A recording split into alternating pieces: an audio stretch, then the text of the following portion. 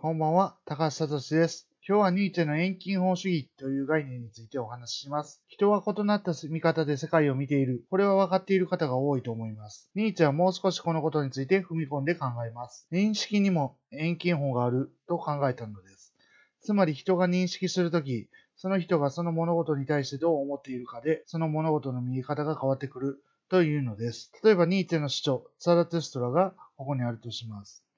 A さんはニーチェが好きで、サラトゥストラこそ心の拠り所、我が青春の聖書だと思っているとしましょう。そんな人がサラトゥストラの現物を見たら、この書物の思想とか書物との出会いを思い出すかもしれません。もう一度サラトゥストラを読んでみるとか思ったり、反応は様々ですが、関心がある対象ならば深く思い巡らすことでしょう。B さんはニーチェの名前は知っているけれども、ほとんどニーチェについて知らない人だとしましょう。そんな B さんがサラトゥストラを見たら、ニーチェっていう変わった哲学者がいたな、一度本を読んでみるか、くらいに思うかもしれませんし、変人哲学者ニーチェの変わった名前の本だ、と思って素通りするかもしれません。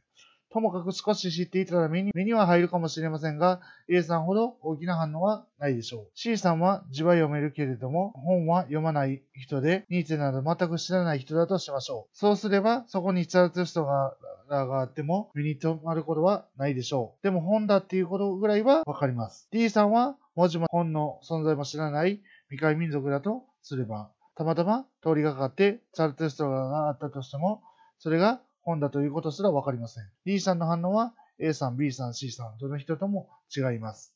このように、遠近法主義とは、関心の有無や知識の有無によって、その物事の見え方が違ってくるよという考え方です。以上、ありがとうございました。